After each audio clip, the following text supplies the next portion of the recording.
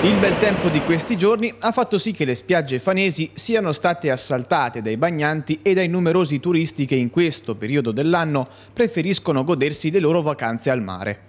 Ma in queste ultime settimane, a vista d'occhio, sono anche numerose le meduse presenti lungo il litorale fanese, pesarese e senigalliese, che si sono spiaggiate nell'arenile, mentre altre lungo il largo, soprattutto dietro le scogliere. Di primo impatto, a vederle sembrano prive di vita, visto che non si muovono e rimangono capovolte nell'acqua. Secondo le prime analisi degli esperti si tratterebbe della specie Aurelia, riconoscibile dalla forma sferica del suo ombrello e soprattutto dalla presenza sulla sua sommità di quattro strutture circolari di color violaceo. Diciamo la presenza che attualmente viene segnalata di queste meduse che sono spiaggiate, che sono sulla costa, è un sinonimo di buona condizione del mare. Perché? Perché le meduse sono degli animali come tanti altri che vivono nell'acqua di mare, vivono in genere molto lontano dalle coste. Perché? Perché sono degli animali che non hanno la capacità di nuoto, di spostarsi molto ampia, molto forte, quindi fanno degli spostamenti verticali in genere dal giorno alla notte per cercare di trovare la zona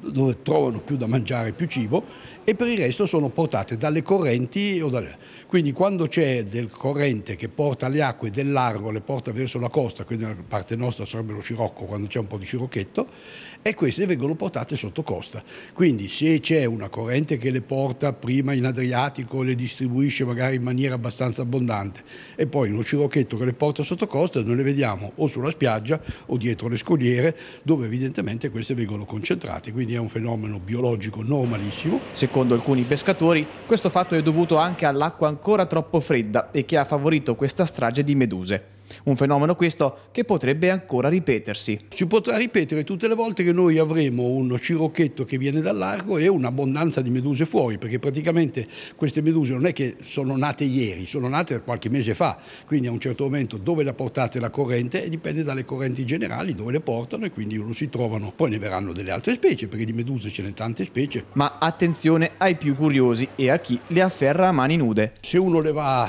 a toccare dalla parte sotto, anche se è morta, ma morta da poco tempo, può ancora avere qualche effetto, ma se sono morte da qualche ora e che quindi ormai sono, eh, hanno perso una parte di liquido, anche la capacità urticante, perché sono una specie di, palline, di, diciamo, di piccole palline gonfiate dove c'è un aghetto dentro. Quando uno li schiaccia un pochetto, zac, che l'aghetto va fuori, si infilza. Ed è che quello che a un certo punto dà fastidio, però se la vescicola si è già sgonfiata non ha più la forza di sparare questo aghetto dentro e quindi non, non, non ha degli effetti.